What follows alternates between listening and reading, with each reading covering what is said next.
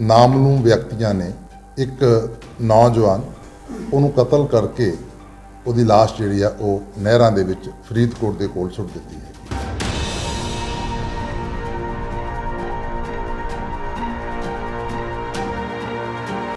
ਔਰ ਜਿਹੜੇ ਦੋਨੋਂ ਦੋਸ਼ੀ ਨੇ, ਉਹਨਾਂ ਦੇ ਨਾਂ ਜਗਜੀਤ ਸਿੰਘ ਤੇ ਗੁਰਜੀਤ ਗੋਗੀ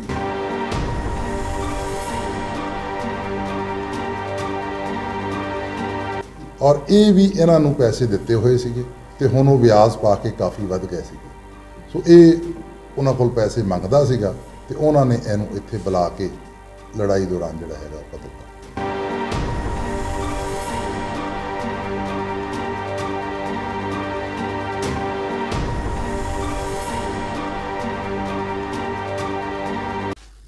ਕੱਲ ਥਾਣਾ ਸਿਟੀ ਫਰੀਦਕੋਟ ਦੇ ਵਿੱਚ ਇਹ ਮੈਟਰ ਰਿਪੋਰਟ ਹੋਇਆ ਕਿ ਕੁਝ ਨਾਮਲੂਮ ਵਿਅਕਤੀਆਂ ਨੇ ਇੱਕ ਨੌਜਵਾਨ ਜਿਹੜਾ ਕੋਠੇ ਵੜਿੰਗ ਥਾਣਾ ਕੋਟਪੁਰ ਦਾ ਰਹਿਣ ਵਾਲਾ, ਉਹਨੂੰ ਕਤਲ ਕਰਕੇ ਉਹਦੀ ਲਾਸ਼ ਜਿਹੜੀ ਆ ਉਹ ਨਹਿਰਾਂ ਦੇ ਵਿੱਚ ਫਰੀਦਕੋਟ ਦੇ ਕੋਲ ਸੁੱਟ ਦਿੱਤੀ ਹੈਗੀ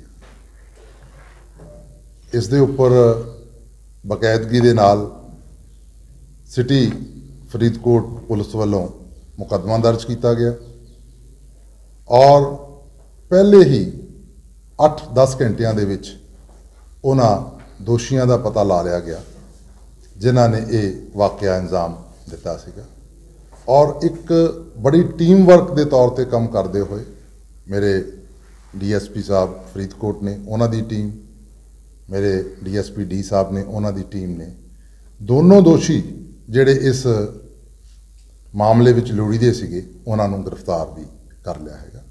ਔਰ ਜਿਹੜੇ ਦੋਨੋਂ ਦੋਸ਼ੀ ਨੇ ਉਹਨਾਂ ਦੇ ਨਾਂ ਜਗਜੀਤ ਸਿੰਘ ਜੱਗਾ ਵਾਸੀ ਕੋਹਾਰ ਤੇ ਗੁਰਜੀਤ ਗੋਗੀ ਵਾਸੀ ਕੋਟਪੂਰਾ ਨੇ। ਇਹ ਇੱਕ ਬੜਾ ਸ਼ਲਾਘਾਯੋਗ ਕਦਮ ਹੈ ਇਹਨਾਂ ਦਾ ਔਰ ਇੱਕ ਬੜਾ ਟੀਮ ਵਰਕ ਦਾ ਅੱਛਾ ਪੁਲਿਸ ਦਾ ਨਮੂਨਾ। ਹੈ ਕਾਨੂੰਨੀ ਕਾਰਵਾਈ ਕਿਉਂ ਕੀਤਾ ਗਿਆ ਕਦਮ? ਇਹ ਜਿਹੜਾ ਅਹ ਮ੍ਰਿਤਕ ਹੈਗਾ ਇਹ ਛੋਟੀ ਮੋਟੀ ਫਾਈਨੈਂਸ ਦਾ ਕੰਮ ਕਰਦਾ ਸੀਗਾ। ਲੋਕਾਂ ਨੂੰ ਪੈਸੇ ਔਨ ਇੰਟਰਸਟ ਦਿੰਦਾ ਸੀਗਾ। ਔਰ ਇਹ ਵੀ ਇਹਨਾਂ ਨੂੰ ਪੈਸੇ ਦਿੱਤੇ ਹੋਏ ਸੀਗੇ ਤੇ ਹੁਣ ਉਹ ਵਿਆਜ ਪਾ ਕੇ ਕਾਫੀ ਵੱਧ ਗਏ ਸੀਗੇ। ਸੋ ਇਹ ਉਹਨਾਂ ਕੋਲ ਪੈਸੇ ਮੰਗਦਾ ਸੀਗਾ ਤੇ ਉਹਨਾਂ ਨੇ ਇਹਨੂੰ ਇੱਥੇ ਬੁਲਾ ਕੇ ਉਹਦੇ ਇਲਾਕੇ ਤੋਂ ਦੂਰ ਇਹਨੂੰ ਲੜਾਈ ਦੌਰਾਨ ਜਿਹੜਾ ਹੈਗਾ ਉਹ ਕਤਲ ਕਰ ਸਰ? ਉਹ ਪਾਰਟ ਆਫ ਇਨਵੈਸਟੀਗੇਸ਼ਨ ਹੈਗਾ ਅਸੀਂ ਦੋਸ਼ੀ ਗ੍ਰਿਫਤਾਰ ਕਰ ਲਿਆ ਪੇਸ਼ ਅਦਾਲਤ ਕਰਾਂਗੇ ਰਿਮਾਂਡ ਲਵਾਂਗੇ। ਉਹ it's part of investigation sir ਅਸੀਂ ਉਹਨਾਂ ਦੇ ਪਰਿਵਾਰ ਨਾਲ ਗੱਲ ਕੀਤੀ ਹੈ ਵੀ ਜਦੋਂ ਸੀ ਮੌਤ ਹੋਈ ਉਸ ਟਾਈਮ ਉਹਦੇ ਕੋਲ ਕੈਸ਼ ਵੀ ਸੀਗਾ?